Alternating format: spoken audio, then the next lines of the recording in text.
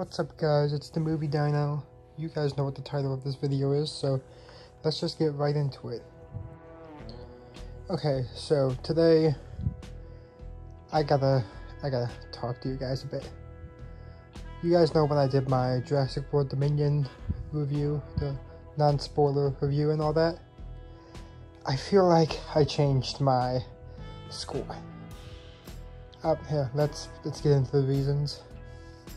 Okay, so so Jurassic World Dominion, it's an it's a decent movie, but I feel like the plot is just so lackluster, so pedestrian that I have to bring it down a bit.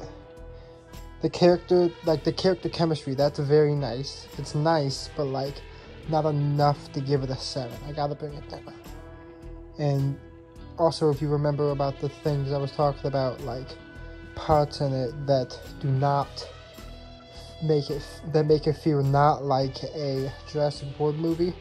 Those are cool, but again, with like the character chemistry, I really can't like bring it up just because of that. Music's okay. Plot is